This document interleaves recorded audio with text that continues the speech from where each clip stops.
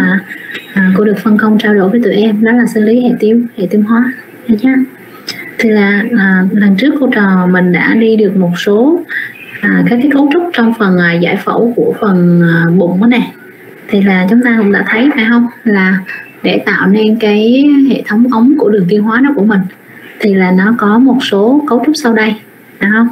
Đó là miệng ha à, hầu ha thực quản dạ dày ruột non ruột già đúng không? Ở đây có cái hình ảnh đây này tụi em nè.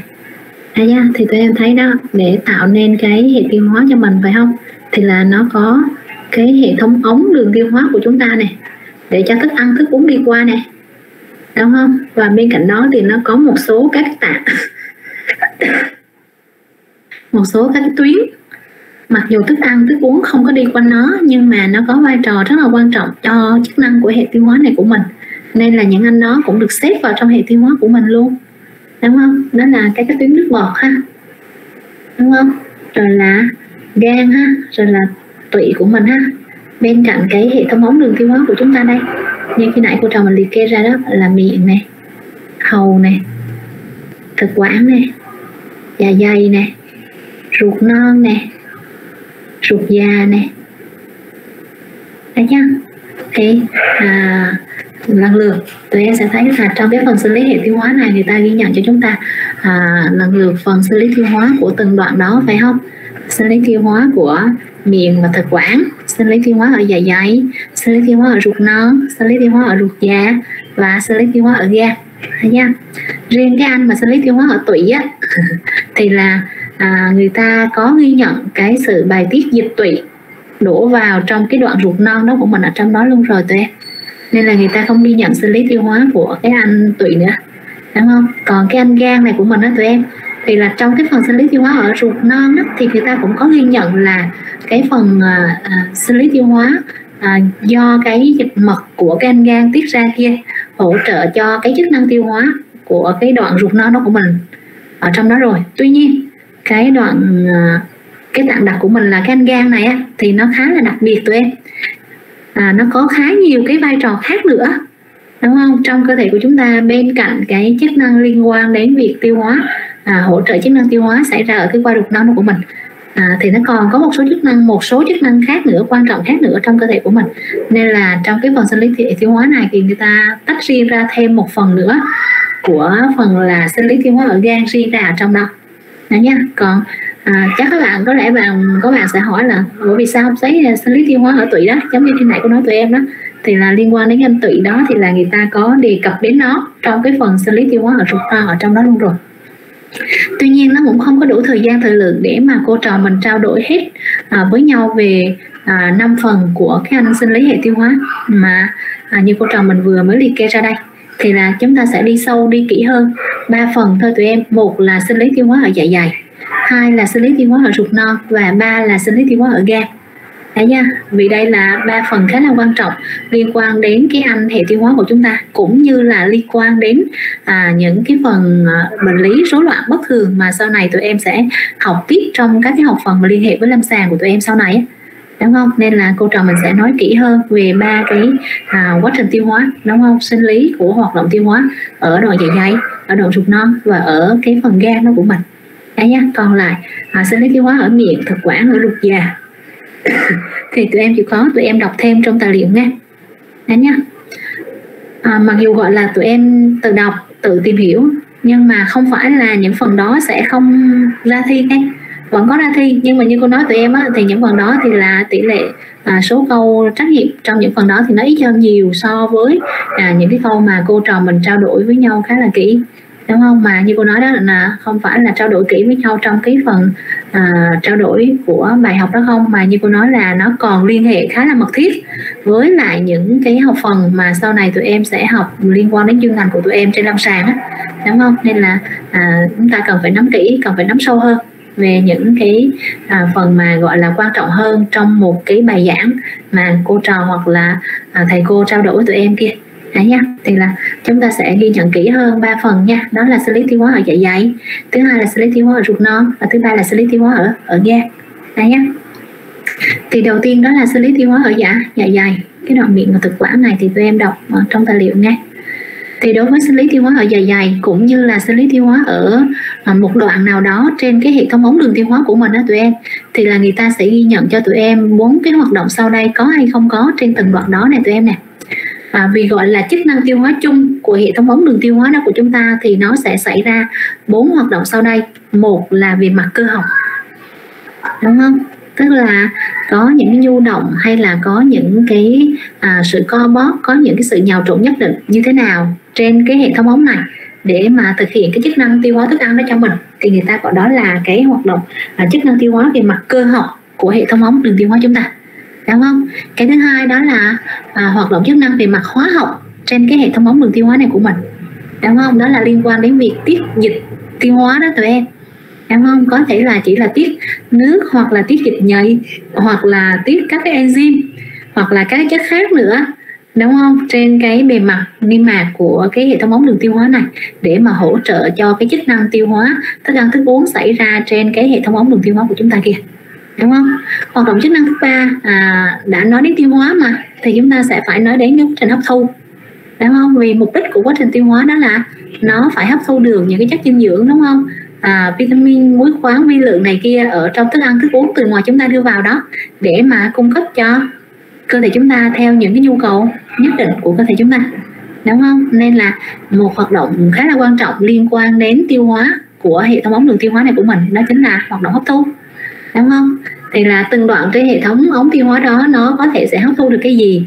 Hấp thu ra làm sao đúng không? Theo cơ chế nào ở vị trí nào trên cái hệ thống ống đường tiêu hóa này của mình? Thì khi đó người ta sẽ ghi nhận khá là kỹ à, cái hoạt động thứ ba đúng không? Đó là liên quan đến hoạt động hấp thu. Và cuối cùng có vào thì sẽ có ra, đúng không? Không phải là tất cả những chất từ bên ngoài chúng ta đưa vào kia là đều được, hấp thu đều được đưa vào trong cơ thể của chúng ta hết, mà sẽ có những chất mà gọi là nó dư thừa, sẽ có những chất mà gọi là nó gây hại cho cơ thể của chúng ta kia, đúng không? Thì là nó sẽ phải cần được đào thải ra ngoài, đúng không? Nên là cái hoạt động thứ tư liên quan đến tiêu hóa xảy ra trên cái hệ thống ống đường tiêu hóa này của mình, đó chính là hoạt động bài tiết đào thải đúng không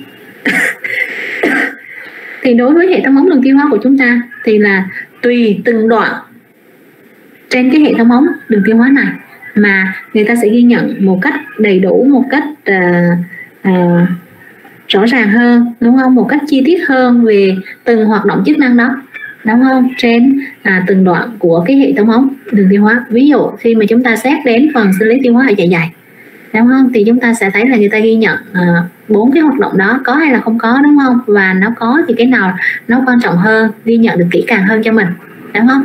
Thì à, nếu như khi nãy cô trò mình đã liệt kê ra là nó có bốn hoạt động liên quan đến việc tiêu hóa của cái hệ tiêu hóa chúng ta là cơ học là hóa học là hấp thu là bài tiết đào thải đó thì ở dạ dày của mình thì nó sẽ có đầy đủ ba quá trình sau đây phải không? Đó chính là về mặt cơ học về mặt hóa học và về mặt hấp thu.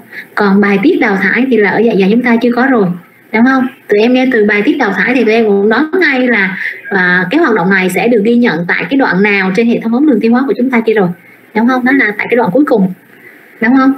Có đi vào thì có đi ra đó mà đi ra ở đâu? Là đi ra ở đoạn cuối gì nữa à đúng không? Đó là cái đoạn trực tràng hậu môn của mình á nên là cái hoạt động mà cuối cùng của chức năng tiêu hóa à, trên hệ thống ống đường tiêu hóa này là bài tiết đào thải đó thì tụi em sẽ thấy người ta sẽ ghi nhận ở cái đoạn ruột già của chúng ta kia.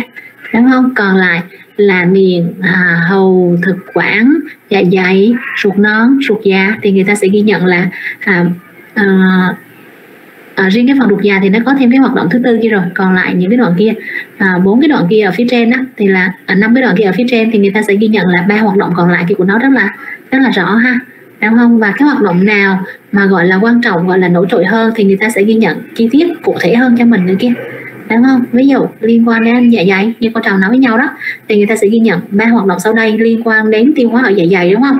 Thứ nhất về mặt cơ học thứ hai là về mặt hóa học và thứ ba là về mặt tiết tiết dịch à, xin lỗi về mặt à, hấp thu đúng không? Thì à, về mặt cơ học của dạ dày thì chúng ta thấy là người ta ghi nhận cái hoạt động nào liên quan đến tiêu hóa ở dạ dày đây? À, cái hình ảnh mà cô trò mình chia sẻ với nhau trên slide này thì là cái này người ta cố tình người ta nhắc lại cho tụi em thấy là một cái đặc điểm sau đây khá là đặc trưng của canh dạ dày. À, chỉ có ở dạ dày thôi đúng không? Đó là cấu tạo lớp cơ của dạ dày á tụi em đúng không thì lần trước trong cái phần giải phẫu thì chắc có lẽ là tụi em à, còn nhớ này chỉ có ở dạ dày thì cấu tạo lớp cơ của nó nó mới đặc biệt như vậy thôi. Còn lại những đoạn khác trên hệ thống ống đường tiêu hóa chúng ta thì nó chỉ có cấu tạo là hai lớp cơ mà thôi đó là cơ dọc và cơ vòng thôi đúng không? Riêng gan dạ dày thì trong trong cùng của nó thì nó được tăng cường thêm một lớp cơ đó là lớp cơ chéo. Đấy nha, thì chính nhờ cái cấu tạo lớp cơ khá là đặc biệt của dạ dày này mà nó đảm bảo cho dạ dày chúng ta nó có một cái trương lực cơ khá là mạnh trên thành dạ dày đó. Để mà nó đảm nhiệm cái chức năng sau đây liên quan đến việc tiêu hóa ở dạ dày của chúng ta này đó chính là chứa đựng thức ăn tụi em. Đấy nha, khả năng chứa đựng thức ăn của dạ dày. Đúng không? Toàn bộ cái khẩu phần ăn trong cái bữa ăn đó của mình thức ăn thức uống trong cái bữa ăn của chúng ta nó sẽ được chứa đựng toàn bộ ở cái đoạn dài dài này của mình. Rồi từ đó nó sẽ được tiêu hóa sơ khởi à, sơ bộ ban đầu đúng không? Và sau đó à, lần lượt sẽ được đẩy xuống từng lượng nhỏ một xuống cái phần ruột no cho chúng ta. Thấy nha. Như vậy ở dạ dày chúng ta cái khả năng chứa đựng thức ăn ở đây nó cũng khá là đặc biệt tụi em. Thì người ta thấy rằng là khi mà thức ăn thức uống của mình nè từ phần thực quản đi vào trong lòng dạ dày đó của mình đúng không? Thì nó sẽ sắp xếp nó sẽ được uh, sắp xếp ở trong lòng dạ dày của chúng ta theo những cái tự theo những cái lớp nhất định tụi em chứ không phải là nó xếp lộn xộn ở trong lòng dạ dày của mình.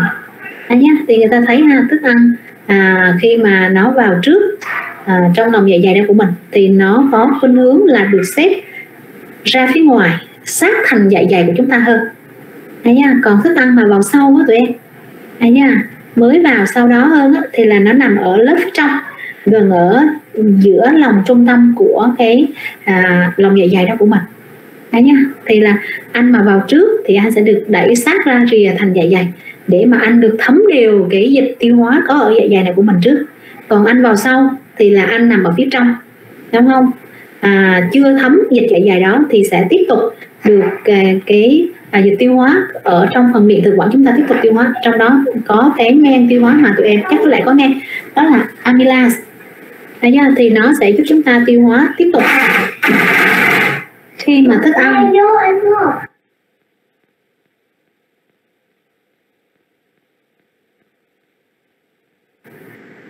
khi mà thức ăn chúng ta chưa à, được thấm cái dịch tiêu hóa ở dạ dày thì là cái men tiêu hóa ở phần miệng của mình đó nè. Tụi em nè đó là amylase có ở miệng á. Chắc có lẽ tụi em có nghe. Thì nó sẽ tiếp tục phát huy tác dụng của nó trên cái khối thức ăn thức uống đó cho chúng ta. À, và nhất là thủy phân thành phần glucid đúng không? Tụi em chắc có lẽ có nghe amylase sẽ thủy phân cái tinh bột của mình đó đúng không? Nhất là tinh bột chính của mình đó tụi em. Là nha tạo thành cái đường đôi manto đó. Thì khi mà thức ăn vào trong lòng dạ dày của mình mà chưa được thấm cái dịch gọi là dịch vị của dạ dày đó. Dịch tiêu hóa ở dạ dày sẽ được gọi tên là dịch vị chút nữa qua cái phần hóa học chúng ta sẽ thấy rõ. Đấy nha thì là cái à, enzyme men mà có ở trong à, thức ăn thức uống từ ổ miệng tống qua phần thực quản vào trong lòng dạ dày đó sẽ tiếp tục phát huy tác dụng của nó. Nhưng mà khi thức ăn đi vào trong lòng dạ dày đó rồi mà được thấm dịch vị rồi tụi em thì khi đó nó sẽ ức chế cái khả năng hoạt động của cái men amylase đó là à nha và lúc này các cái men tiêu hóa có trong dịch vị của dạ dày sẽ phát huy tác dụng của nó để mà thủy phân sơ khởi, những thành phần dinh dưỡng có trong thức ăn này cho chúng ta, tạo thành một cái chất mà người ta gọi là nhũ chất đúng không? Và từ đó nó sẽ được đẩy xuống phần ruột non, tiếp tục tiêu hóa nữa cho cơ thể của mình. Thấy chưa? Như vậy tụi em để ý, tụi em lưu ý hay, thì là cái ăn dạ dày chúng ta, nó có một cái lượng cơ khá là mạnh trên thành dạ dày kia. Để mà chứa được toàn bộ cái khẩu phần ăn, bữa ăn, từ thức ăn, thức uống trong cái bữa ăn đó của mình, ở trong lòng dạ dày này của mình đấy nha. Và thức ăn, thức uống khi vào trong lòng dạ dày đó của chúng ta thì nó không phải là được xếp lộn xộn ở trong lòng dạ dày đó của mình tụi em. Người ta nghiên cứu, người ta thấy là thức ăn mà đi vào trong lòng dạ dày đó thì nó xếp theo thứ tự nhất định. Đúng không? Vào trước thì sẽ được bị đẩy ra. Theo cái nhu động nó sẽ đẩy ra, nằm sát thành dạ dày của chúng ta hơn để mà thấm dịch vị của chúng ta trước đúng không còn thức ăn vào sau thì là nó sẽ xếp lần lượt ở phía sau đó ở vào ở trong lòng trung tâm của cái à, dạ dày đó của mình đúng không và được thấm từ từ đúng không dịch vị dạ dày à, nha, theo cái thứ tự trước sau mà thức ăn thức uống đó từ ngoài đi đi vào trong lòng dạ dày. à, nhá. Về mặt cơ học của dạ dày thì người ta thấy là nó có ba cái hoạt động, ba cái động tác sau đây liên quan đến chức năng cơ học ở dạ dày của mình đó nè. Đúng không? Đó là đóng mở tâm vị dạ dày, nhu động xuất hiện trên thành dạ dày và đóng mở môn vị của dạ dày. Thì cái này tụi em à, chắc còn nhớ đúng không? Tâm vị dạ dày đó chính là cái phần đầu tiên của dạ dày đúng không? Nơi mà nó nối vào cái đoạn cuối của canh thực quản của mình á. À, tại đây nó có lỗ tâm vị nè đúng không? Và à, nếu như chúng ta xác định cái phần tâm vị này thì là lần trước cô trò mình đã ghi nhận đó đó là à, cái phần đầu tiên của dạ dày cỡ tầm 3 4 cm đầu đúng không? Từ cái phần mà à, lỗ tâm vị của chúng ta đi xuống kia đó. Đó nha thì nó sẽ tạo nên cái phần được gọi tên là tâm vị của dạ dày này. Đấy nha thì khi mà thức ăn thức uống của tụi em từ thực quản đi xuống đến phần cuối của cái ống cơ thực quản đó của mình á, thì nó sẽ kích thích vào tâm vị của dạ dày chúng ta. Và nó gây ra cái phản xạ thần kinh người ta gọi đó là phản xạ ruột tụi em. Và lúc này nó sẽ mở cái cơ thắt tâm vị của dạ dày. Và thức ăn thức uống từ trên đoạn cuối thực quản đó sẽ được đưa vào trong lòng dạ dày cho mình đó nha. Và khi thức ăn đã vào được trong lòng dạ dày đó của mình rồi thì nó lại kích thích phản xạ ruột ngược trở lại và nó lại đóng cái tâm vị đó của mình lại. Và tâm vị lại tiếp tục mở ra khi mà có một lượng thức ăn hoặc là thức uống khác từ thực quản chúng ta đi xuống. Đấy nha, như vậy tâm vị không phải là lúc nào cũng mở mở rộng ra để mà thức ăn, thức uống từ trên thực quản chúng ta đưa đi vào trong lòng dạ dày, đúng không? Mà nó có nhịp đóng mở nhất định riêng của nó đúng không? Khi mà có những yếu tố kích thích riêng đó của nó thì nó mới mở tâm vị ra và lại đóng tâm vị lại. Khi nào có kích thích lại thì nó mới mở tâm vị ra lại cho mình lần. Đấy nha. Tuy nhiên trên lâm sàng người ta thấy là nó có một số những yếu tố mà người ta gọi đó là yếu tố bất thường mà nó kích thích mở tâm vị chúng ta ra được. Mặc dù là người ta thấy là nó không có thức ăn, không có thức uống gì từ thực quản đi xuống hết, nhưng mà tâm vị chúng ta vẫn mở ra được đúng không? Thì người ta gọi đó là những yếu tố kích thích mở tâm vị bất thường. Đúng không? Thì trên lâm sàng người ta thấy nó có ba cái nguyên nhân sau đây mà có thể sẽ làm tâm vị chúng ta mở ra bất thường này. Đúng không? Kích thích cái phản xạ, mở cơ thấp tâm vị ra. Đúng không? Mặc dù là không có sự kích thích do thức ăn, do thức uống từ trên thực quản đi xuống, nhưng tâm vị vẫn mở ra được. Thì người ta thấy nó có thể nằm trong ba nhóm nguyên nhân sau đây. Một, đó là do dịch vị trong lòng dạ dày của chúng ta nó quá axit tụi em.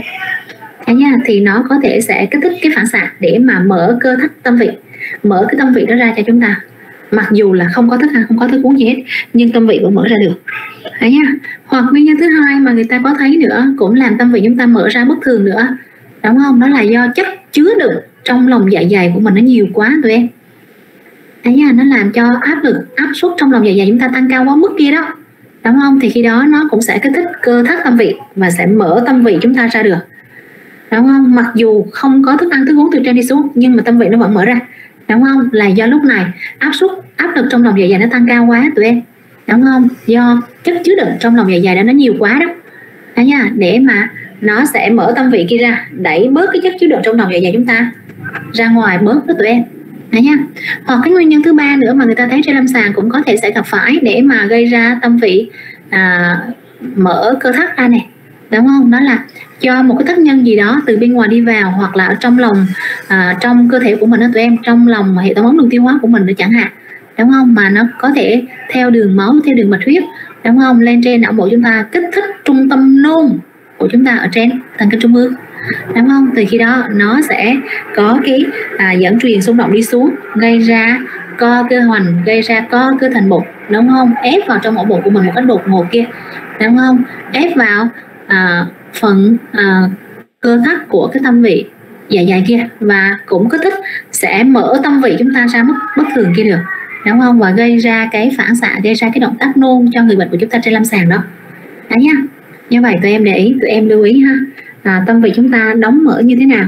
Và trên lâm sàng liên hệ trên lâm sàng là nó có những cái nguyên nhân bất thường bệnh lý gì để mà gây ra mở cái tâm vị dạ dày của chúng ta ra đó. Đấy nha.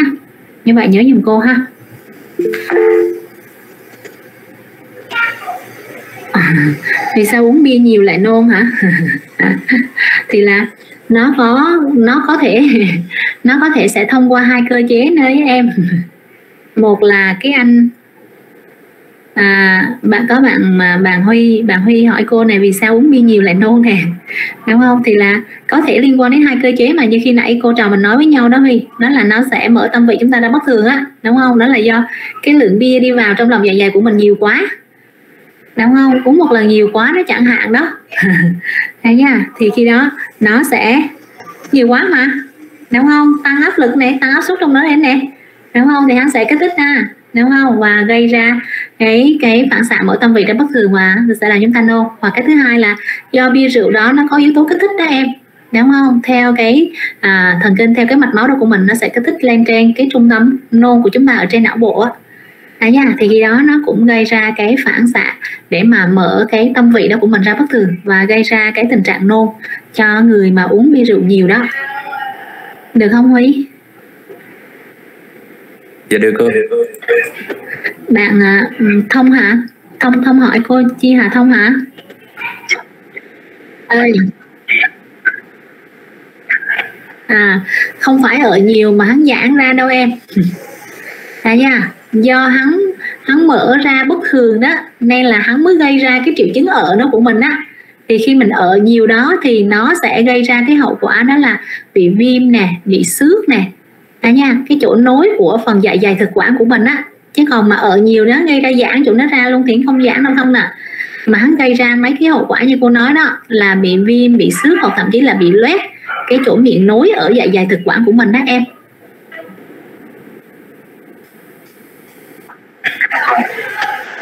Đó nha thì là như khi nãy cô trò mình nói với nhau là khi mà nó mở tâm vị ra bất thường thì tụi em sẽ thấy ngay cái triệu chứng của người bệnh trên lâm sàng liền, giống như bạn thông mình nói đó. Đúng không? Đó là ở hơi, ở chua, hoặc là buồn nôn, hoặc là nôn ra ngoài luôn đó tụi em. Đó nha, khi mà tâm vị chúng ta mở ra đột ngột ha. Đúng không? Là nếu như nó có thêm sự hỗ trợ của cái lực ép của can cơ hoành hoặc là lực ép ở thành bụng của chúng ta từ dưới, ép lên kia nữa, ép vào kia nữa. Đúng không? Thì khi đó nó sẽ gây ra triệu chứng rất là rõ ràng cho người bệnh của chúng ta khi mà tâm vị bị mở ra bất thường đó. Đúng không? Đó là ở ha. Đúng không? Ở hơi ha. Nếu như người nào kèm theo trong cái bối cảnh là tăng tiết axit nữa thì sẽ là ở chua. Đúng không? Và nó mở ra khá là đột ngột kia. Cộng với lại sự tác động của cái lực ép của cơ hoành hoặc là cơ thành bụng nó của mình thì nó sẽ gây ra cái triệu chứng đó là buồn nôn và nôn của người bệnh trên lâm sàng đó. Thấy nhá à, cái cơ học thứ hai mà tụi em thấy người ta có ghi nhận liên quan đến cơ học của dạ dày này của mình nữa đó chính là nhu động trên thành dạ dày.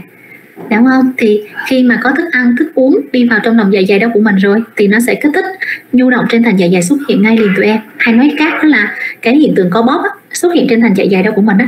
Đúng không? 15 20 giây nó sẽ xuất hiện nhu động một lần kia. Đấy nha để mà nó sẽ nghiền nhỏ cái khối thức ăn nó ra cho mình đúng không? Để mà nó nhào trộn cái khối thức ăn đó của mình. Để khối thức ăn đó được dễ dàng trong việc thấm đều cái dịch vị dạ dày hơn. Đúng không? Hỗ trợ tối đa đắc lực cho việc thủy phân, thức ăn, thức uống có ở trong cái lòng dạ dày đó của chúng ta đâu. Đấy nha. Và khi mà thức ăn, thức uống chúng ta trong lòng dạ dày đó được nhào trộn, được nghiền nhỏ đó, thấm đều dịch vị đó rồi, tạo thành cái nhũ chất đó của mình rồi đó. Không thì nó sẽ đẩy cái nhũ chất đó xuống phần hang môn vị với một lực mạnh hơn, với nhu động dày hơn đúng không? Để mà lúc này nó sẽ kích thích một cái hiện tượng cơ học thứ ba trên cái quai à, dạ dày này của mình trên cái tại dạ dày này của mình nó chính là đóng mở môn vị của dạ dày. Đúng không? Nhu động đẩy cái nhũ tróc đó xuống phần hang môn vị với một lực mạnh hơn kia. Đúng không? Thì nó cũng sẽ kích thích cái phản xạ thần kinh cũng gọi là phản xạ ruột để mà mở cái phần môn vị đó của mình ra và tống cái từ à, nhũ tróc từ dạ dày xuống phần tá tràng cho chúng ta đâu đó nhá và khi mà nhũ trấp từ dạ dày tống xuống phần tá tràng vẫn còn mang tính axit kia của nó. Vì chút nữa qua cái phần hóa học thì tụi em sẽ thấy là cái anh dịch vị của dạ dày độ pH của nó cực kỳ axit tụi em rất là axit. Đúng không? Nên là à, thức ăn thức uống mà sau khi thấm điều dịch vị đó thì nó sẽ trở thành cái dịch tiêu hóa của chúng ta cũng mang tính axit. Đúng không? Nên là cái uh, lượng nhũ trấp từ dạ dày vừa mới được tống xuống phần tá tràng đó do nó vẫn còn mang tính axit kia nên là nó sẽ kích thích đóng cái môn vị của mình lại tụi em. Đấy nha. Chỉ khi nào thức ăn cái nhũ chất của chúng ta mang tính axit từ dạ dày nằm ở trong phần tá tràng á, được trung hòa bớt tính axit đó. Đúng không? Thì khi đó nó lại kích thích cái nhu động ở trên thành dạ dày chúng ta đẩy một lượng nhũ chất khác xuống phần hang môn vị với một lực mạnh hơn kia nữa. Thì lúc này nó sẽ kích thích lại mở cái môn vị chúng ta ra lại và lại tống tiếp được một lượng nhũ tróc khác từ dạ dày xuống phần tá tá tràng. Đấy nha, thì cái hiện tượng thứ ba đó của nó liên quan đến cơ học của dạ dày người ta gọi đó là đóng mở môn vị của dạ dày. Đúng không? Như vậy tụi em để ý ha tụi em lưu ý ha. Thì cái nhu động của dạ dày cũng như là đóng mở môn vị của dạ dày này tụi em nè thì liên hệ trên lâm sàng nó cũng có một số trường hợp bất thường. À, mà cái nhu động dạ dày bất thường chúng ta hay gặp chúng ta hay thấy đó là nó có thể nằm trong bối cảnh đó là tăng nhu động quá mức của tụi em. Tăng co bóp quá mức á đúng không? Tăng co thắt quá mức đó.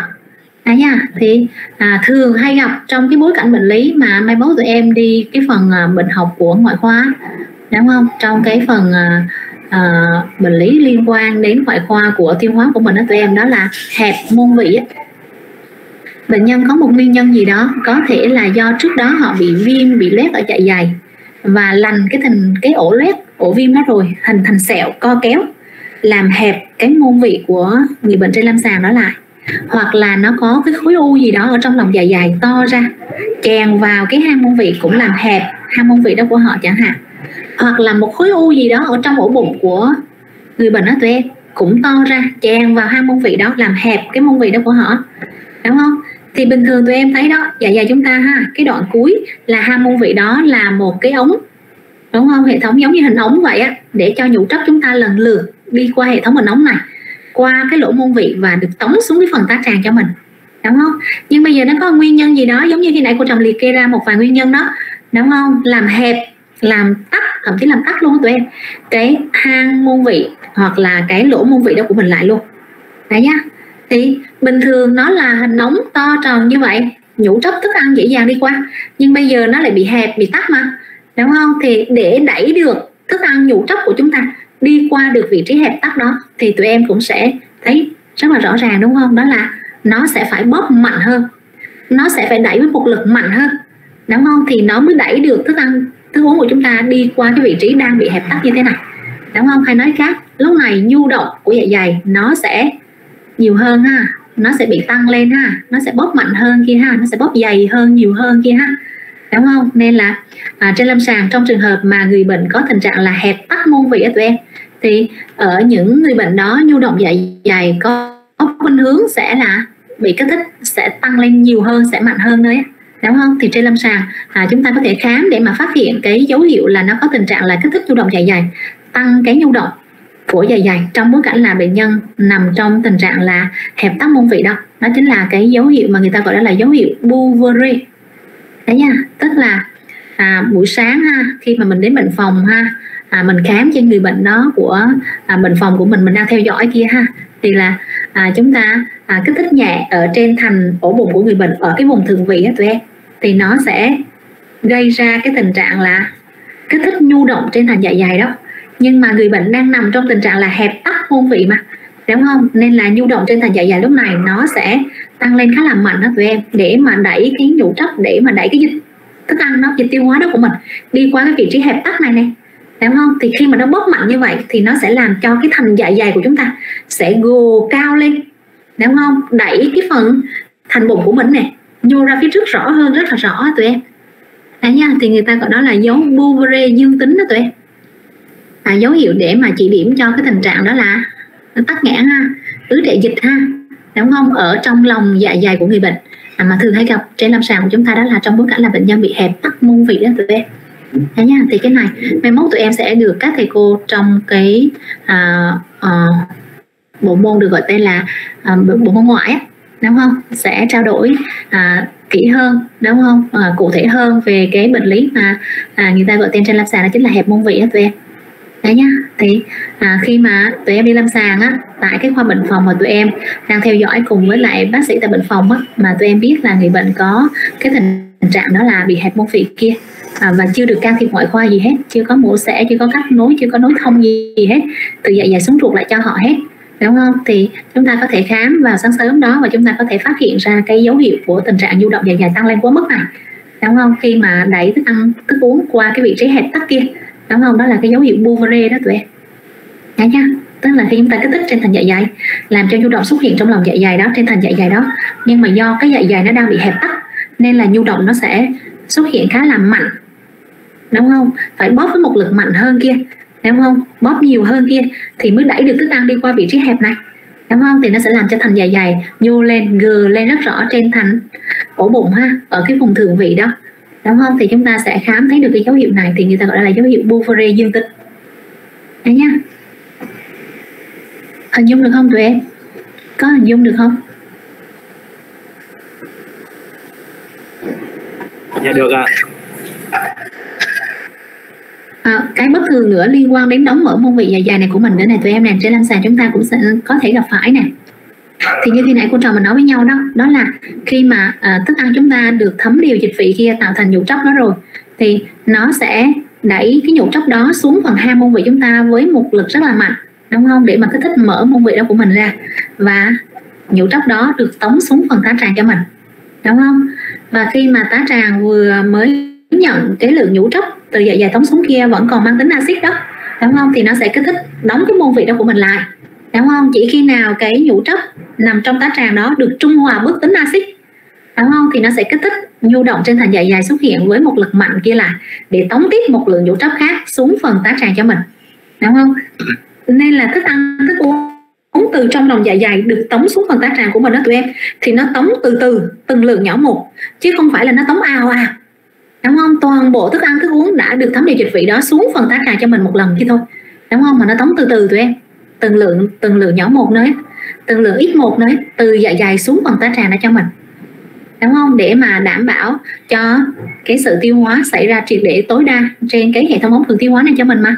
Đúng không? Nên là tụi em là thấy là mình ăn chỉ có 3 bữa trong một ngày thôi. Nhưng mà cái quá trình tiêu hóa thức ăn này thì nó diễn ra từ từ trong suốt cả ngày đó của mình. Đúng không? Thì trên lâm sàng nó cũng có trường hợp bất thường liên quan đến cái động tác nóng mở môn vị của dạ dày của người bệnh nè. Thì người ta cho chúng ta một ví dụ ở trong tài liệu tụi em. Nếu như tụi em có thời gian tụi em đọc trước trong cái giáo trình của mình á đúng không? Thì tụi em sẽ thấy rất rõ vậy không? Nó là trên lâm sàng trong trường hợp mà người bệnh nó bị mất cái phản xạ đóng mở môn vị này. Ví dụ là người bệnh bị à, cắt dạ dày và nối trực tiếp cái phần còn lại của dạ dày kia xuống ruột cho người bệnh của mình đó tụi em. Ví dụ là người bệnh bị ung thư dạ dày ở cái phần ham môn vị đó hoặc là bệnh nhân bị thủng dạ dày, thủng khá là to, bị rách khá là rộng.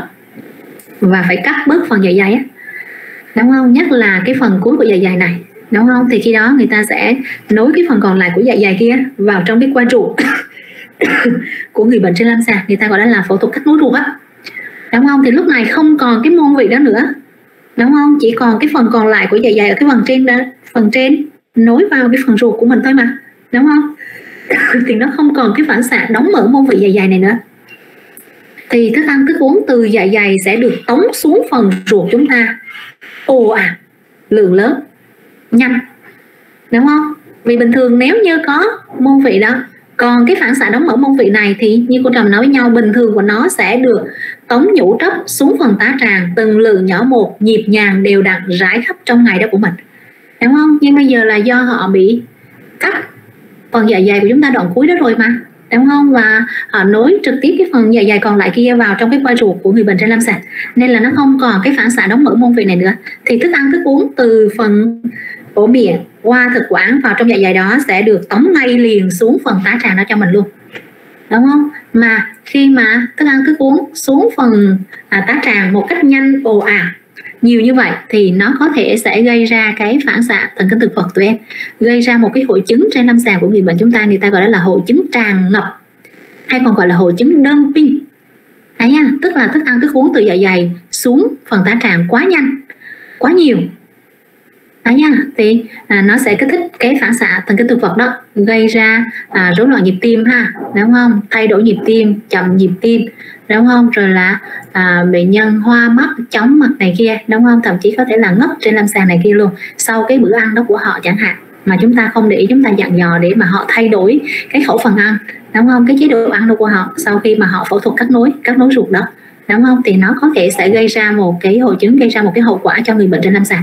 À, đó chính là hội chứng tràn ngọc hay còn gọi là hội chứng đơm dumping Đấy nha, thì cái này chúng ta cũng sẽ được các thầy cô bên hệ ngoại tiêu hóa của chúng ta sẽ trao đổi lại với tụi em đúng không để mà tụi em có một vài cái kiến thức đó để mà à, ví dụ mà đi lâm sàng mà có gặp người bệnh là liên quan đến à, hậu phẫu chăm sóc hậu phẫu của các nối ruột đó chẳng hạn thì chúng ta cần phải để ý cái vấn đề này.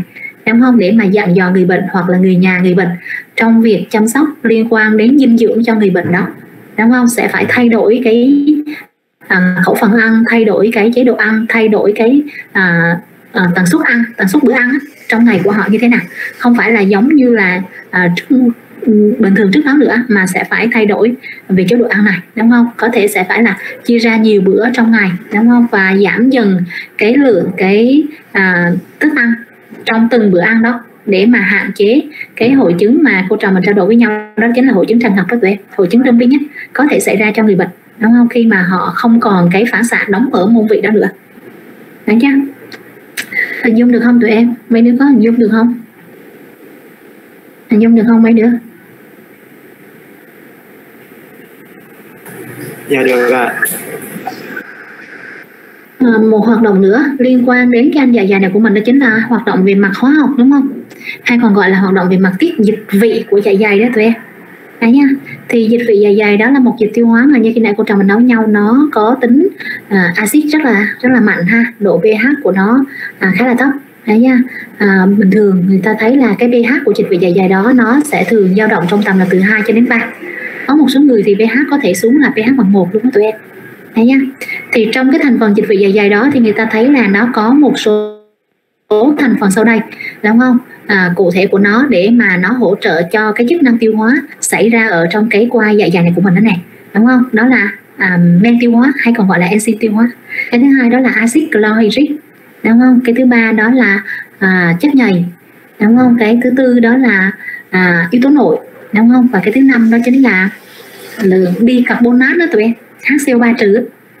Đấy nhá như vậy trong thành phần dịch vị dạ dày thì nó có khá nhiều các thành phần để tạo nên dịch vị cho chúng ta đúng không? Để tạo cho dịch vị có những cái đặc tính à, nhất là đặc tính liên quan đến độ pH của dịch vị à, dạ dày đó của mình đó. Hay nha thì là à, như cô trò mình liệt kê đó đầu tiên thì thành phần dịch vị đó chính là các cái men tiêu hóa đúng không? Do cái tế bào chính trên thành các cái ống tuyến của niêm mạc dạ dày của mình tiết ra tụi em. Nha, thì là nó tiết ra một số men tiêu hóa sau đây ha trong đó cái men mà gọi là tiết ra cái lượng nhiều hơn và hoạt động mạnh mẽ hơn trong thành phần men tiêu hóa của dịch vị dạ dày của mình đó chính là men pepsin Đấy nha. Và men pepsin này là một loại men tiêu hóa có tác dụng là thủy phân thành phần protein có trong thức ăn cho mình đó tụi em. Đấy nha. Và người ta thấy một cái đặc điểm sau đây khá là đặc trưng khá là đặc thù cho các cái men có tác dụng là thủy phân thành phần protein à, trong cái thức ăn thức uống từ ngoài chúng ta đưa vào. Đó chính là men này là men được tiết ra ban đầu là ở dạng bất hoạt chưa hoạt động chưa hoạt hóa. Chỉ khi nào nó ở trong môi trường thuận lợi của nó thì khi đó nó mới được kích hoạt để mà trở thành là men hoạt động. Đúng không? Men được hoạt hóa kia rồi. Và lúc này nó mới phát huy tác dụng của nó. Cụ thể đó là thủy phân thành phần protein có trong thức ăn đó của mình đó. Thấy nha. Đây là tụi em thấy người ta ghi nhận cái men tiêu hóa có trong dịch vị. À, dạ dày của chúng ta. Đầu tiên chính là men pepsin đúng không vì đây là men được tiết ra lượng nhiều hơn và hoạt động mạnh mẽ hơn trong thành phần men tiêu hóa của dịch vị dạ dày đó của mình. Đúng không? Thì men pepsin đó ban đầu được tiết ra dưới dạng là bất hoạt, chưa hoạt động, được gọi tên là pepsinogen đúng không? Và khi mà nó ở trong môi trường rất là axit của dịch vị dạ dày này, thì lúc đó nó được hoạt hóa, trở thành là men hoạt động, được gọi tên là men pepsin đúng không? Và đã trở thành là pepsin hoạt động đó rồi, thì nó lại quay ngược trở lại để mà hoạt hóa lại các cái men pepsinogen kia. Tôi xin lỗi, pepsinogen nghe, không phải là pepsinogen nghe. Pepsinogen ha, đúng không? Thì nó sẽ hòa hóa những cái men pepsinogen đó để mà trở thành những cái men pepsin hoạt hoạt hoạt động lại cho mình. Đấy nha. Và dưới tác dụng của men pepsin này thì như khi nãy cô trò nói với nhau đó, nó sẽ có tác dụng là thủy phân thành phần protein có trong thức ăn của chúng ta để tạo thành những cái sản phẩm à, gọi là sản phẩm được thủy phân sơ khởi ban đầu của những phân tử protein protein đó. Đúng không? Đó là các cái chuỗi polypeptide có thể là chuỗi dài ngắn khác nhau. Đúng không? Chứ vẫn chưa tạo thành cái sản phẩm cuối cùng của việc thủy phân protein trong lòng hệ thống ống tiêu hóa của mình. Đó là tạo thành các axit amin nghe. Thế nha. Nhớ giùm cô là dưới tác dụng của men pepsin này thì thành phần protein có trong thức ăn mới chỉ được thủy phân sơ khởi ban đầu mà thôi chứ vẫn chưa được thủy phân triệt để. Đúng không? Nên là à, thành phần protein thành phần protein có trong thức ăn của chúng ta à, khi mà nó ở trong lòng dạ dày đó của mình thì nó mới được chỉ là được thủy phân tạo thành những cái chuỗi polypeptide ngắn hơn cho mình mà thôi. Đúng không? Như vậy tụi em để ý tụi em lưu ý ha. Men pepsin đúng không? À, men tiêu hóa nói chung đó là do những cái tế bào chính trên thành các cái ống tuyến của cái niêm mạc dạ dày của chúng ta tiết ra. Thấy nha. À, men pepsin này được tiết ra ban đầu ở dạng bất hoạt được gọi tên là pepsinogen. Đúng không? Được hoạt hóa khi mà nó ở trong môi trường pH axit của dịch vị dạ dày tạo thành men pepsin hoạt động. Đúng không? Và khi mà pepsin hoạt động đó thì nó cũng trở thành là yếu tố để mà hoạt hóa những cái men bất hoạt pepsinogen kia tạo thành pepsin hoạt động tiếp tục cho mình đúng không? Và khi mà bé sinh đó ở dạng hoạt động đó rồi thì nếu như trong thức ăn thức uống từ ngoài chúng ta đưa vào kia có thành phần protein thành phần protein đó thì nó sẽ thủy phân sơ khởi ban đầu cho mình để tạo thành những chuỗi polypeptide. Đó nha. Thành phần men tiêu hóa thứ hai có trong dịch vị dạ dày của mình nữa đó chính là men li, lipase Đấy nha, thì cái men lipase này nó có tác dụng là thủy phân thành phần lipid tụi em. Nghe từ lipase thì tụi em cũng biết là hắn thủy phân cái chi đó rồi. Đúng không? Thì hắn sẽ thủy phân thành phần lipid có trong thức ăn của chúng ta. Tuy nhiên Libas có trong dịch vị của dạ dày của mình đó tụi em thì là nó hoạt động à, khá là yếu đúng không? Lượng thì là vừa là ít và cái khả năng hoạt động thủy phân của nó thì nó nó yếu hơn so với chút nữa. Chúng ta sẽ thấy cái Libas của cái dịch tụy và Libas à, của à, lipase của dịch tụy thôi dịch ruột thì nó hoạt động cũng yếu vậy giống như cái Libas của dịch vị này của mình vậy nhá. Tức là lipase của dịch vị, tụi em thấy người ta dùng từ này, có tác dụng thủy phân các lipid đã được nhũ tương hóa. Đúng không? Chứ không phải là thủy phân tất cả các lipid có trong thức ăn của mình đâu tụi em. Mà ăn lipid nào mà ở dạng là đơn giản á. Đúng không? Ở dạng là cái phân tử nó là gọn nhẹ kia. Đúng không? Hay người ta hay dùng từ đó là lipid đã được nhũ tương hóa đó. Tức là nó bị phá vỡ cái cấu trúc phức tạp phía bên ngoài của cái phân tử lipid mà chúng ta hay thấy kia, mà nó chỉ là những cái phân tử lipid ở dạng là nhỏ, gọn, đơn giản, đúng không? Thì cái lipase có trong dịch vị đó của mình, nó mới thủy phân được những lipid mà ở dạng đơn giản này.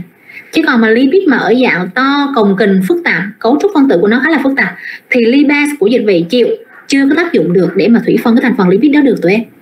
Đấy nha, nên là người ta dùng từ là lipase có tác dụng thủy phân các lipid đã được nhũ tương hóa đấy nha tức là lipid ở dạng mà đơn giản á. Đúng không? Ở dạng nhỏ gọn ấy của cái phân tử lipid có trong thức ăn đó của mình á. Ví dụ như là lipid có trong sữa hoặc là lipid có trong cái lòng đỏ trứng chẳng hạn này đúng không? Thì à, dưới tác dụng của lipase của dịch vị thì nó sẽ thủy phân được lipid ở dạng đơn giản đó để tạo thành cái sản phẩm cuối cùng luôn. Thủy phân triệt để luôn đó tụi em tạo thành glycerol và axit béo cho mình luôn. Nha nha à, thêm một men tiêu hóa nữa có trong dịch vị mà trong slide cô trò mình chia sẻ với nhau kia người ta có ghi nhận đúng không? Đó là men kimozin thấy nha hay còn gọi là Resua hay còn gọi là Renin đó tụi em. Nhá. Nha thì à, men này là men thủy phân thành phần protein. Có trong sữa của mình đó tụi em. Thủy phân một loại à, protein. Protein có trong sữa gọi là casinogen để tạo thành casein tụi em cả nhà nên là cái men kimosin này người ta gọi đó là cái men tiêu hóa sữa hay còn gọi là enzyme tiêu hóa sữa đó đúng không? Nó sẽ làm đông vón cái sữa mà chúng ta à, đưa vào trong lòng dạ dày này của mình tạo thành à, khối tạo thành vón cục cái lượng sữa đó lại tụi em. Nên là thường tụi em hay thấy là khi mà chúng ta uống sữa rồi hoặc là những bé nhỏ mà nó bú sữa mẹ rồi chẳng hạn đúng không? Thì là nếu mà nó có bị nô bị trớ ra ngoài thì tụi em thấy là nó hay vón vón cục lại ha nó giống như là, là sữa chua hoặc là cái đậu phụ mà nó bị bị nát nó bị bể. Đúng không? Khi mà bé nôn trớ nó ra ngoài đó.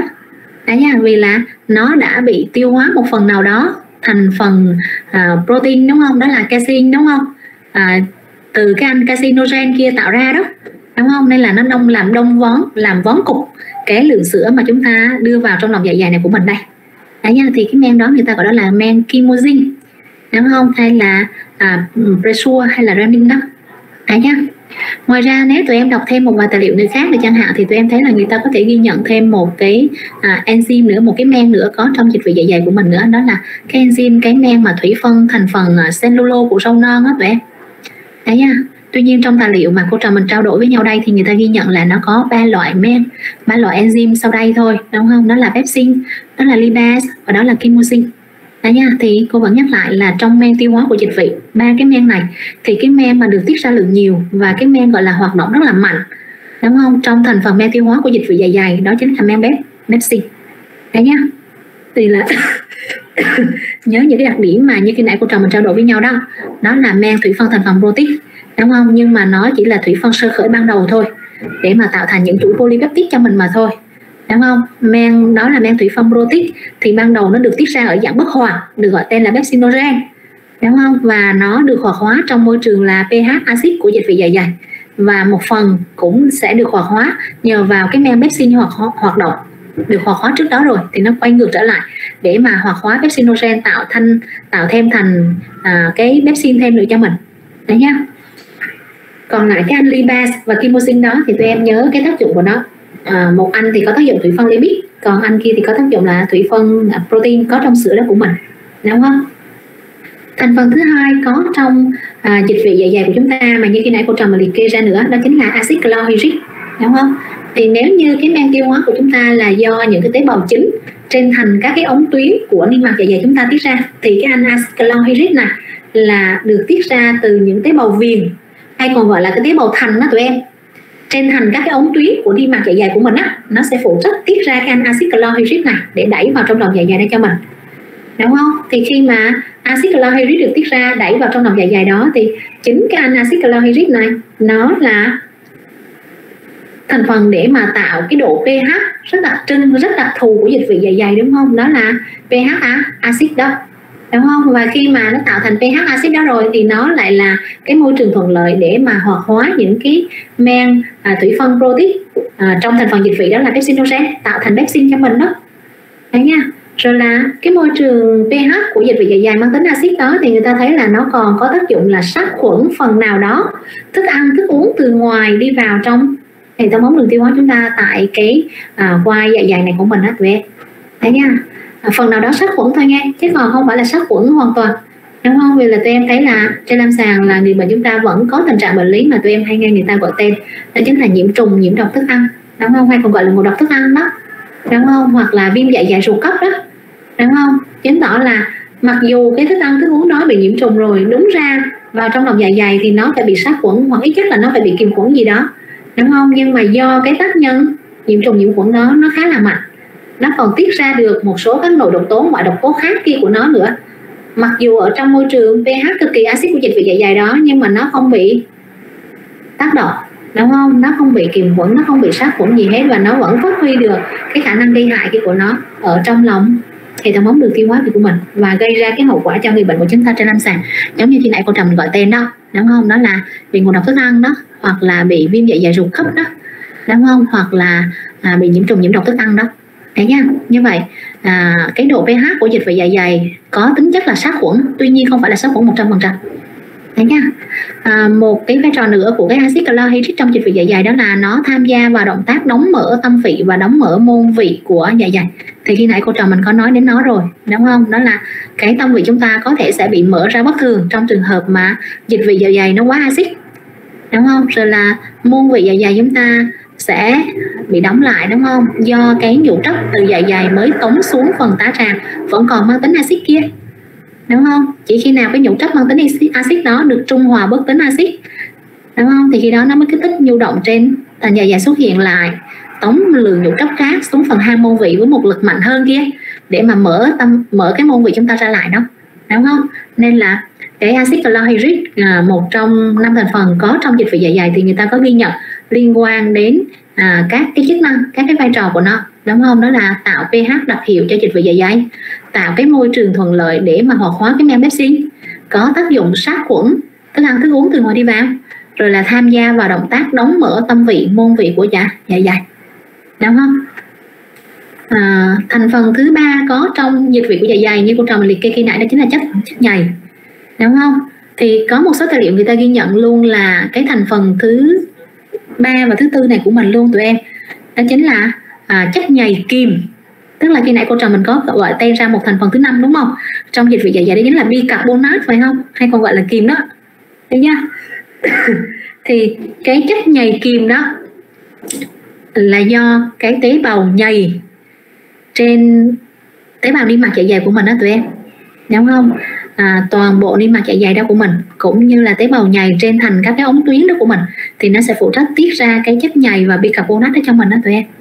Đấy nha thì cái chất nhầy và bicarbonate ở trong đó nó sẽ phủ lên trên bề mặt niêm mạc dạ dày của mình này để mà bảo vệ cho niêm mạc dạ dày của chúng ta khỏi cái tác dụng của cái axit chlorhydric bào mòn niêm mạc kia khỏi cái tác dụng của men pepsin thủy phân thành phần protein kia. Đúng không? Vì bản chất của niêm mạc dạ dày chúng ta cũng là protein thế nha, nên là axit bào mòn được không? Được. Men pepsin thủy phân thành phần protein thì nó có thủy phân được niêm mạc dạ dày luôn được không? Được. Đúng không? Nhưng mà rất may rằng là phủ lên trên bề mặt niêm mạc dạ dày chúng ta, nó có cái lớp chất nhầy kìm, đúng không? Chất nhầy và bicarbonate ở trong đó nữa.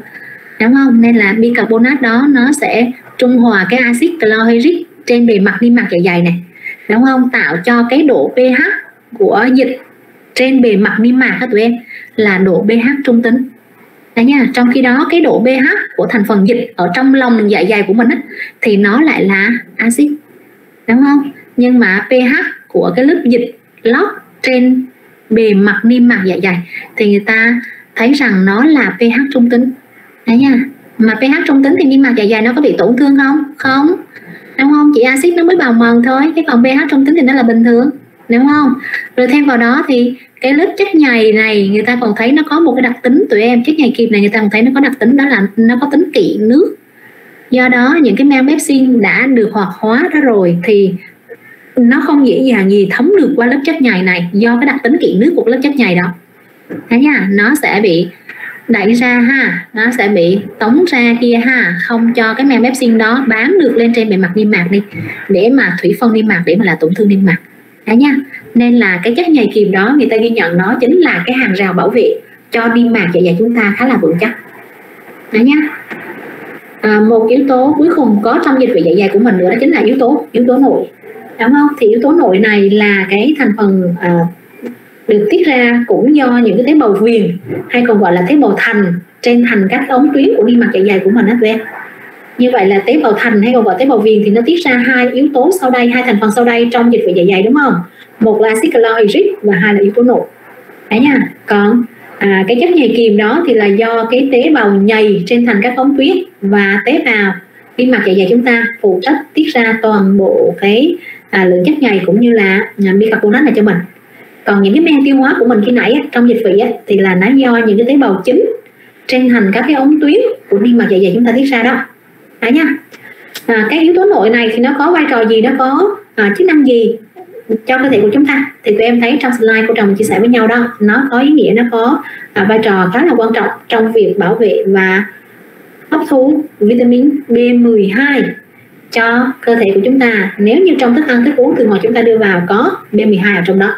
Đấy nha, thì chính nhờ yếu tố nội này nó sẽ bảo vệ B12 đó.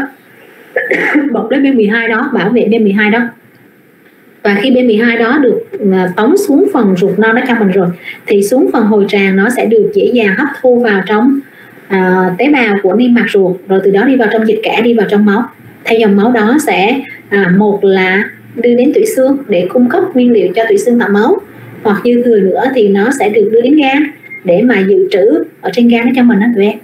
Đấy nha liên quan đến chức năng à, tạo máu cho cơ thể của chúng ta đó đúng không? Vì đây là một trong những cái nguyên liệu mà cần thiết để mà tủy xương dùng trong việc tạo máu tạo hồng cầu cho cơ cơ thể. Đấy nhá. Như vậy đây là các thành phần có trong dịch vị của dạ dày. Đúng không? Đó là men tiêu hóa nè đó là axit chlorhydric nè đó là chất nhầy nè bicarbonate nè đó là yếu tố nội à, được tiết ra ở đâu? À, tiết ra như thế nào? Nó hoạt động ra làm sao?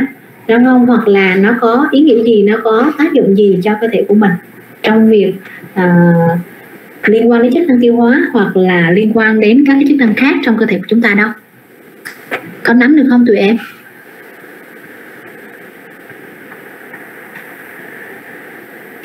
Nắm được không mấy đứa? Dạ được cô cô nói thêm xí nữa rồi chúng ta nghỉ giải lao chút hị cô nói cho xong cái phần ờ, phần dài dài đi hị dạ. Dạ. Ráng thêm xí nữa hị và việc điều hòa bài tiết dịch vị à, cũng như là điều hòa bài tiết dịch ruột điều hòa bài tiết à, dịch à, à, mật dịch tụy đó thì cái phần này tụi em xem thêm trong tài liệu dùm cho cô nè cô nói à, lướt nhanh dùm ha. Thì là cái điều hòa bài tiết à, các dịch tiêu hóa trong hệ thống ống đường tiêu hóa của mình đó tụi em thì là nó sẽ được điều hòa thông qua hai cơ chế tụi em. Một là cơ chế về mặt thần kinh và hai là cơ chế về mặt thể dịch. À, à, về mặt thần kinh mà tham gia điều hòa bài tiết dịch vị á, thì là nó có hai yếu tố thần kinh. Một là đám rối thần kinh nội tại tại lớp dưới niêm mạc của à, cái anh thành dạ dày đó của mình. Và thứ hai là cái nhánh của dây thần kinh lang thang đến chi phối cho cái anh dạ dày này của mình. Đấy nha. Trong hai cái yếu tố về mặt thần kinh đến chi phối cho việc à, bài tiết dịch vị dạ dày thì cái anh mà à, có vai trò rõ ràng hơn trong việc à, điều hòa bài tiết này thì chính là cái nhánh của dây thần kinh lang thang. Đấy nha. Thì là trong trường hợp mà cái nhánh của dây thần kinh lang thang đó mà nó kích thích thì nó sẽ làm tăng bài tiết các thành phần dịch uh, nhất là cái axit chlorhydric có trong dịch vị dạ dày của mình đó tụi em. Ngược lại khi mà nó ức chế cái dây thần kinh lang thang nhánh của dây thần kinh lang thang nó của mình chẳng hạn ví dụ như nó bị tổn thương hoặc là nó bị uh, cắt trong trường hợp mà người ta cố tình người ta cắt để mà làm à, điều chỉnh điều hòa lại cái việc tiết dịch vị dạ dày cho người bệnh trên lâm sàng á thì khi đó nó sẽ làm giảm cái việc tiết dịch vị là rất là rõ cho người bệnh. Đó nha. Về à, thể dịch tham gia điều hòa bài tiết dịch vị thì là nó có một số các cái chất một số các cái à, gọi là các cái nội tiết tố hoặc là các cái chất trung gian. Do tế bào niêm mạc của dạ dày hoặc là tế bào niêm mạc à, tá tràng của mình tiết ra tụi em. Nha thì nó sẽ tham gia vào việc kích thích hoặc là ức chế à, việc tiết những cái thành phần trong dịch vị dạ dày của mình. Mà thường phần lớn đa số là nó liên quan đến việc kích thích làm tăng tiết tụi em. Thế nha, những cái thành phần có trong dịch vị dạ dày ví dụ như là gastrin hoặc là gastrin line hoặc là histamine hoặc là glucocorticoid đó thì nó sẽ kích thích làm tăng tiết axit chlorhydric có trong thành phần dịch vị dạ dày. Hoặc là prostaglandin 2 thì nó sẽ kích thích làm tăng tiết cái chất nhầy trong thành phần dịch, dịch, dịch vị dạ dày đó của mình. Đấy nha, thì người ta biết những cái yếu tố điều hòa như thế này để mà trên lâm sàng người ta sẽ à, tạo ra đông ngon sẽ tổng hợp ra một số các cái nhóm mà gọi là các các cái dược chất những cái thuốc á để mà chúng ta dùng trên lâm sàng á tụi em. Trong việc chúng ta điều hòa chúng ta điều chỉnh à, các thành phần dịch tiết trong cái dịch vị dạ dày cho người bệnh trên lâm sàng. Đấy nhá hấp thu ở dạ dày thì là quá trình hấp thu ở dạ dày cũng có xảy ra. Tuy nhiên cái hấp thu à, liên quan đến cái chức năng tiêu hóa của dạ dày thì nó không phải là chức năng nổi trội cho cái dạ dày đâu của mình đúng không? Nên là người ta ghi nhận một cách là sơ sài một vài điểm chính của nó ở trong đó mà thôi. Chứ nó không có được ghi nhận kỹ giống như là cái chức năng co bóp của chúng ta khi nãy giống như là cái chức năng tiết dịch vị dạ dày của chúng ta khi nãy. Đấy nha thì hấp thu ở dạ dày này thì người ta thấy là tại cái niêm mạc dạ dày chúng ta nó có thể hấp thu một vài cái chất sau đây có trong thành phần thức ăn thức uống từ ngoài chúng ta đưa vào này. Ví dụ như là sắt. À, ở dạng là sắt hai cộng đó luôn rồi thì nó sẽ được hấp thu một lượng nhỏ vào trong niêm mạc dạ dày để cho mình. Đấy nha. Hoặc là đường có trong thành phần thức ăn thức uống từ ngoài đi vào. Mà nó ở dạng là đường đơn giản tụi em mà thường là ở dạng đường đơn được gọi tên là glucose đó, thì người ta thấy là ở cái niêm mạc dạ dày này nó cũng hấp thu một lượng nhỏ nhất định cái đường vào trong à, tế bào niêm mạc rồi từ đó vào trong dịch kẽ vào trong máu cho mình. Đấy nha rồi là nước ở thức ăn thức uống từ ngoài chúng ta đưa vào đó thì ở đoạn dạ dày này nó cũng được hấp thu một lượng nhất định. Đấy nha rồi là bia rượu nếu có từ thức ăn thức uống chúng ta đưa vào đó thì ở dạ dày này nó cũng hấp thu một lượng nhất định cái bia rượu đó vào trong tế bào đi mạc dạ dày rồi từ đó vào dịch kẽ vào trong à, lòng mạch cho mình. À, nhất là ở những trẻ bú mẹ tụi em những bé nhỏ mà còn trong cái thời gian là bú mẹ đó thì người ta thấy là à, trong thành phần sữa mẹ đó thì những cái chất dinh dưỡng trong sữa mẹ đó ở dạng khá là đơn giản rồi đúng không? Nên là những chất dinh dưỡng trong sữa mẹ đó được hấp thu nó một lượng cũng khá là nhiều đó tụi em cỡ tầm là 25 phần trăm. Những cái chất dinh dưỡng có trong sữa mẹ đó là được hấp thu ở cái à, tế bào niêm mạc dạ dày của bé tụi em. Đấy nha mà thường là theo những cái cơ chế vận chuyển tích cực và cơ chế vận chuyển ẩm bào đó tụi em. Đấy nha tuy nhiên như cô nói đó là cái quá trình hấp thu uh, xảy ra cho cái chức năng tiêu hóa ở dạ dày thì nó không phải là cái hoạt động nổi trội. Cho cái chức năng tiêu hóa ở dạ dày nên là ở cái phần hấp thu ở dạ dày này thì các em thấy là người ta ghi nhận một vài cái điểm sơ lược uh, cơ bản như vậy thôi chứ người ta không đi sâu không đi kỹ cho mình.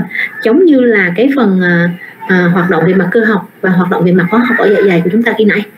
Dạ à, nhá như vậy cô trò mình xong được cái anh uh, sinh lý tiêu hóa của cái anh dạ dày ha à, cô trò mình sẽ qua tiếp phần thứ hai của sinh lý tiêu hóa. Đó là sinh lý tiêu hóa của cái anh ruột à, ruột non. À, nhá nhưng mà cô trò mình dừng lại đây nghĩ vậy la một xí rồi là vô tiếp nha.